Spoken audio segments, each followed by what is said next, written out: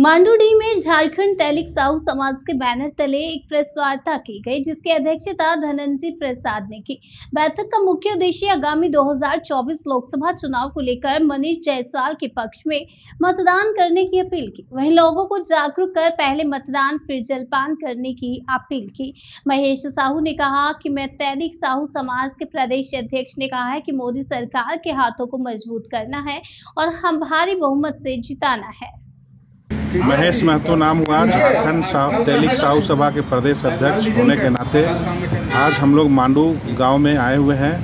हजारीबाग लोकसभा के प्रत्याशी श्री मनीष जायसवाल जी का हाथ को मज़बूत करने के लिए, अपने समाज को अपील करने के लिए आए हैं और हमारे माननीय यशस्वी प्रधानमंत्री नरेंद्र मोदी जी का हाथ को मज़बूत करने के लिए अपने समाज को विनती करने आए हैं कि अपना वोट मतदान पहले मतदान, फिर जलपान की ये नारा है, उसको हम लोग समझाने आए हैं कि भाई हम लोग के समाज पहले अपना वोट को जाके अपना मोदी जी का हाथ को मज़बूत करने के लिए मारे और मनीष जायसवाल जी का हाथ को मज़बूत करने के लिए वोट को अपील करने के लिए हम लोग आए हैं। साहू समाज की ओर से समस्त लोकसभा हजारीबाग का साहू समाज को हम लोग अपील करते हैं कि अपना मतदान कमल फूल में मारें और विजय बनाए।